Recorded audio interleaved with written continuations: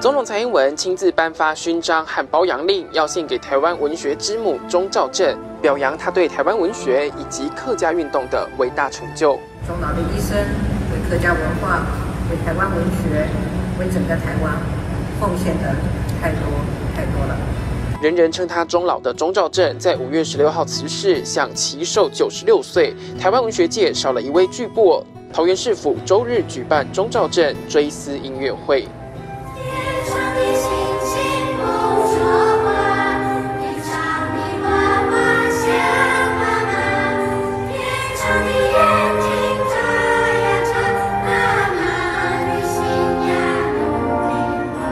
耳熟能详的《鲁冰花》主题曲，在台湾人人能哼上几句。这部电影的原作就出自钟兆镇之手。他不但是产量最丰富的客籍文学家，更是大河小说的开山始祖。每部作品都深深影响台湾文学界。虽然终老辞世，但他的作品和精神将永留世人心中。